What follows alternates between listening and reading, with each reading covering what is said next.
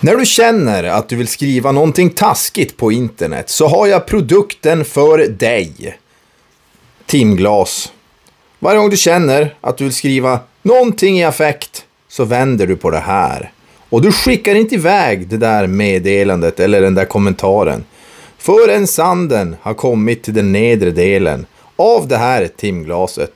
Då ska vi se om du fortfarande tycker att det är värt att skicka den där kommentaren eller det där meddelandet. Och då kan du trycka på play, men inte förrän sanden alltså är i botten av timglaset.